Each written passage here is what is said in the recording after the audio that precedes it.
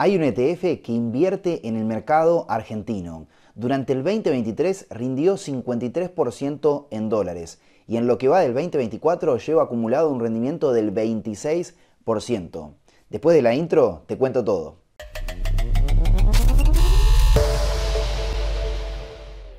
En el video de hoy vamos a analizar este ETF, vamos a ver cómo está compuesto, qué activos tiene y por supuesto te voy a mostrar cómo lo compro que lamentablemente, déjame decirte, no está disponible en el mercado argentino. No lo podemos comprar a través de un broker local. Entonces, en este caso, el broker que voy a utilizar es Happy, que me permite invertir directamente en la bolsa de Estados Unidos de forma fácil, económica, porque con 5 dólares como mínimo puedo hacer una inversión y también seguro, que eso ya lo vimos en el video anterior, donde te mostré algunas funciones de Happy y cómo también deposité pesos. Todo eso lo tenés en la etiquetita de acá arriba.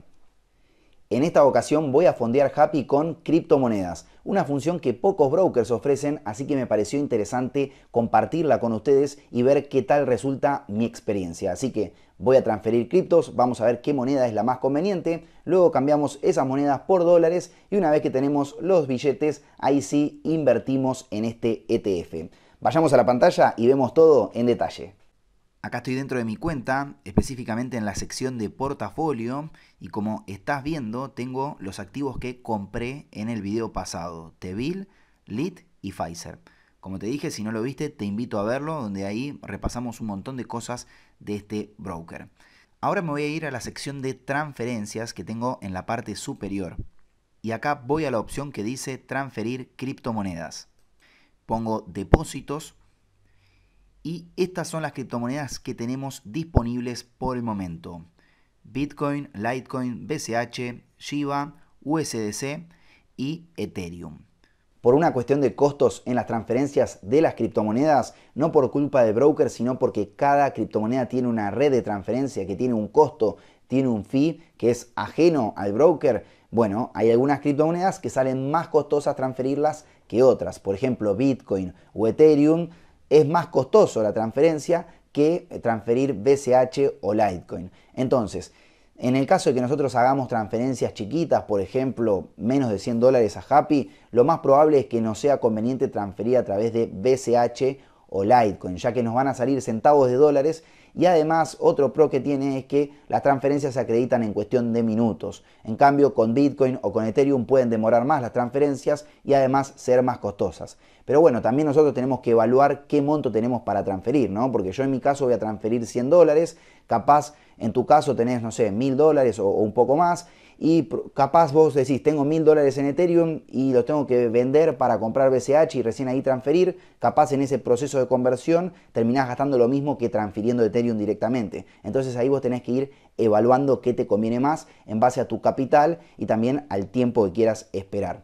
En mi caso voy a transferir BCH y lo voy a hacer a través de Bybit. Vos podés utilizar el exchange que tengas. Vayamos a la pantalla.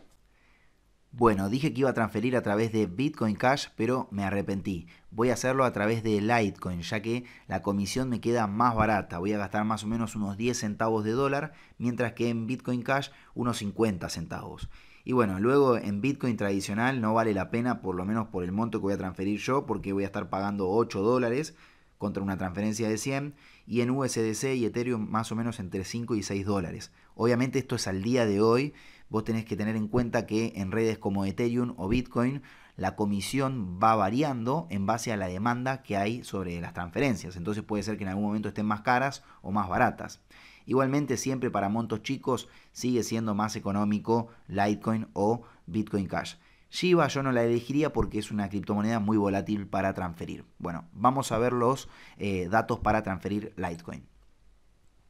Acá me aparece la dirección de depósito que tengo que copiar y luego pegarla en mi exchange para poder transferir o puedo directamente escanear el QR. Acá nos aclara los mínimos que eh, reciben y los máximos. Serían un centavo de dólar como mínimo y 10 mil dólares como máximo.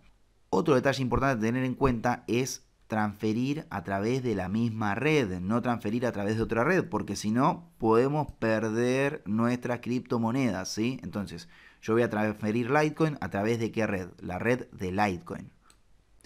Bien, pasamos a la pantalla de mi celu que les voy a mostrar el proceso de retiro. Yo ya tengo 100 dólares que compré en Litecoin, exactamente 100 para ver cuánto me queda después final. Actualmente tengo 1,188 Litecoin. Le voy a dar a retirar. Voy a seleccionar Litecoin y ahora voy a escanear el código para que se me copie la dirección. Perfecto. La red, como ven ahí, ya me sale automáticamente que dice Litecoin. Por las dudas, no cambiarla. Voy a ponerle a máximo. Y por debajo me dice la tarifa de retiro, que es 0,001 Litecoin. Y me estarían llegando 1,187 en vez de 1,188. Le voy a dar en retirar. Bueno, acá me pide los códigos de verificación, procedo con todo esto y vamos a ver cuánto tarda en acreditarse. Bien, llegaron las criptos, demoraron exactamente 25 minutos. No me parece un mal tiempo teniendo en cuenta que las transferencias internacionales demoran horas, incluso días, así que me parece un tiempo dentro de todo razonable.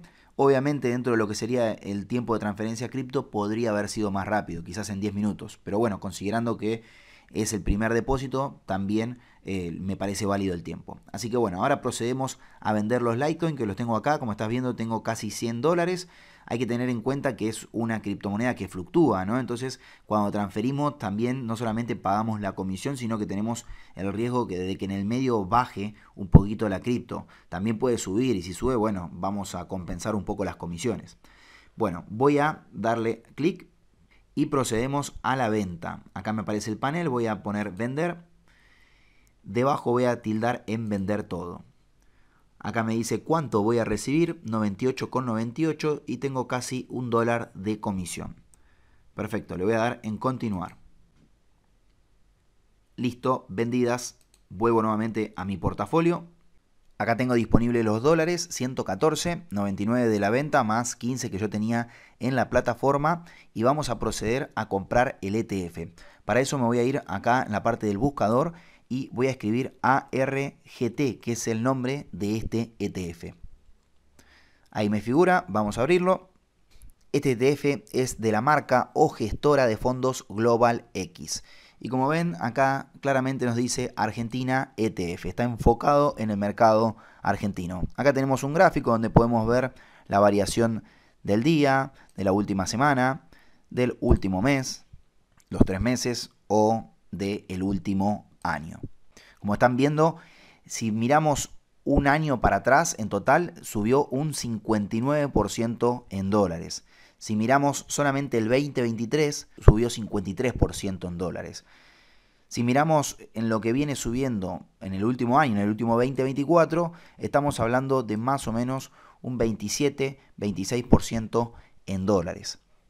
Por debajo podemos ver el precio máximo de las últimas 52 semanas, 65,82. Podemos ver también el mínimo y los dividendos que fue pagando. Sí, es un ETF que también paga dividendos. Perfecto, ¿vamos a comprarlo? No, claro que no. El primer paso es informarnos y es también lo que vos siempre deberías hacer. Más allá de que te guste capaz invertir en el mercado argentino, el primer paso es tener un poco más de conocimiento de cómo está compuesto este fondo. Y en base a eso, cuando ya tenemos información, ahí sí tomamos una decisión informada. Pasamos a la página oficial de Global X donde podemos encontrar la descripción de este fondo y de todos los otros ETFs que también estén administrados por esta gestora. Debajo tenemos un mapita que nos muestra de la Argentina, dándonos a entender que la exposición está dirigida ahí. Igualmente, déjenme decirles que tienen algunos que otros activos de otros países de la región, como por ejemplo Chile, pero principalmente está enfocado en Argentina. Debajo vamos a ver la comisión de administración anual del fondo, 0,59%. Es baja, sí, menos del 1%, pero hay otros ETFs que tienen comisiones mucho más bajas, 0,10, 0,15 o incluso menos. Pero generalmente esos ETFs son de gran capitalización de mercado, tienen más de mil millones de administración. En cambio, acá la capitalización de mercado es 350 millones de dólares. Entonces, considerando que es un ETF chico, no me parecen mal las comisiones.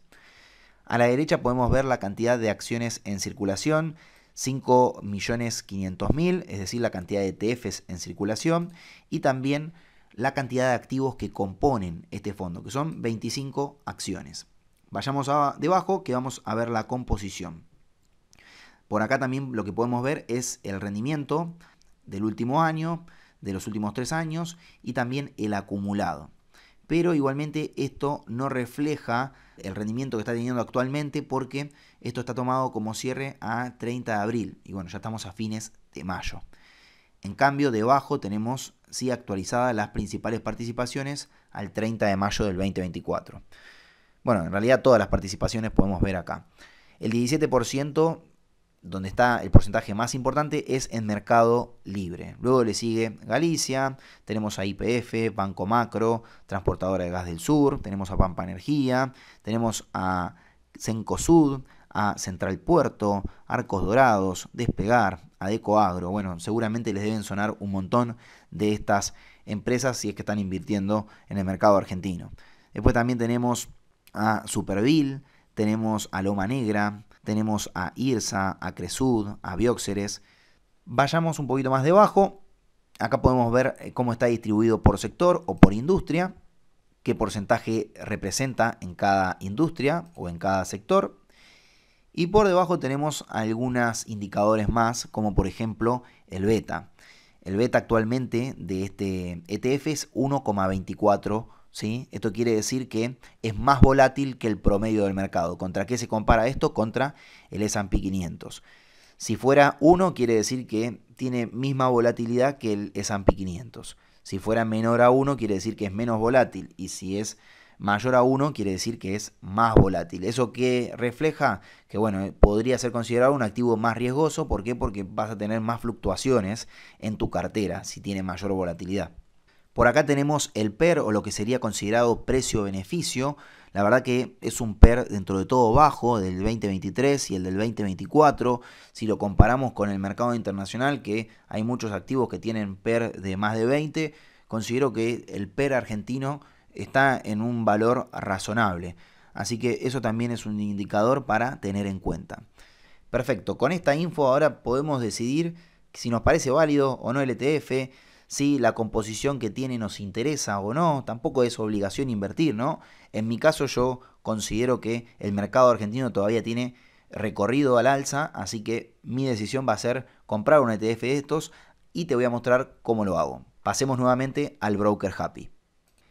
Bien, ahora sí, voy a hacer la compra del ETF. Esto es lo que está costando hoy. A la derecha tengo el panel para cargar mi orden. Puedo cargar una orden en cantidad de acciones o tildando acá en los tres puntitos puedo cargar una orden en dólares.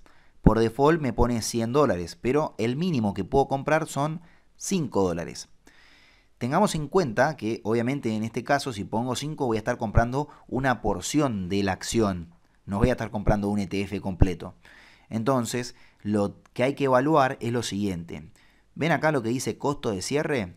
15 centavos. Bueno, si yo no compro una acción completa, voy a seguir pagando este coste de cierre de 15. En cambio, si yo pongo comprar en acciones y pongo una acción entera, el costo de cierre baja a 10 centavos. ¿eh? Son 5 centavos que podrían hacer la diferencia. ¿Para qué pagarlos si capaz nosotros llegamos a comprar una acción completa? Bueno, no paguemos esos 5 centavos de más.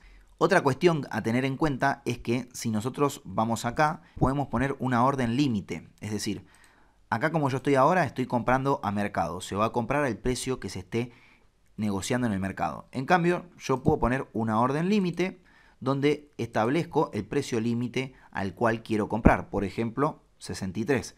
No quiero comprar a 63,24, sino a 63. De esa manera, la orden va a quedar esperando a que si alguien está dispuesto, me la vendan en ese precio o no. O quizás el precio sigue subiendo y no se me compra. ¿sí? También lo que podemos hacer es cargar inversiones recurrentes. Es decir, podemos seleccionar que todos los meses se nos haga una compra de ETF con el saldo que tengamos en la cuenta. Quizás este ETF no es lo más conveniente para este tipo de inversión recurrente, pero sí, por ejemplo, el S&P 500 que contempla las 500 empresas más importantes de los Estados Unidos y que suele ser estable en el largo plazo, bueno, podría ser una opción para esta inversión recurrente. Entonces nosotros le damos acá a semanal, por ejemplo, y le pedimos que todos los jueves me compre en un determinado horario. Vamos a poner de 11.30 a 12 pm. Le damos en continuar y ahí cargamos la cantidad de acciones por operación, las repeticiones. Así que esto resulta interesante si uno quiere justamente generar una especie de ahorro a largo plazo en algún instrumento que valga la pena. Voy a volver hacia atrás, voy a poner nuevamente compra en acciones. Yo en este caso voy a hacer una compra simple a una acción y voy a comprar a mercado. Perfecto, le voy a dar en continuar, continuar y ahí se compró el ETF por un valor de 63,15 más el coste que fue 10 centavos, en total 63,25. Perfecto. Acá estoy nuevamente en mi portafolio, vamos a ver la parte de activos y acá me figura el ETF Argentina con un 41% actualmente de la cartera. Atención, como viste conmigo, este ETF viene mostrando una muy buena performance.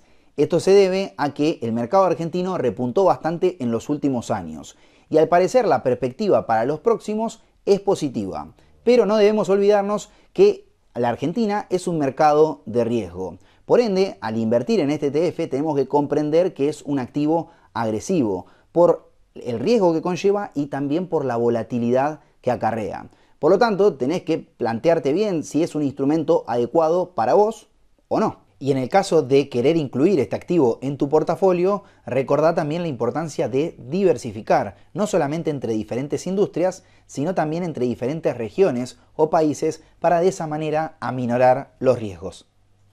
Hablemos respecto a Happy. Si vas a invertir en este broker, que sea con un horizonte de mediano a largo plazo. No quieras invertir hoy y a las dos semanas o al mes retirar tu capital. O no al menos si tenés un capital muy chico, 50, 100 dólares o 200 dólares, ya que las comisiones de entrada y de salida te van a terminar perjudicando en un capital tan chico.